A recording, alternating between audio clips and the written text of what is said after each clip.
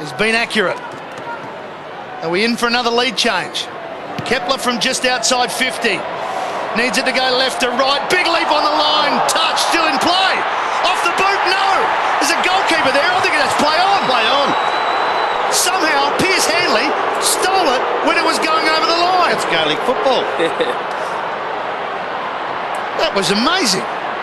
Everybody thought it was going through, well, let's have a look except what for Hanley. here, boys. Now, The umpire's in a great posse. And as it Mayne tried to throw it on his boot, did get on his boot, Oh. and Pearce Hanley was he behind? But the umpy's right He there. couldn't tell. Maybe the chest Yeah, there protected his tell. back.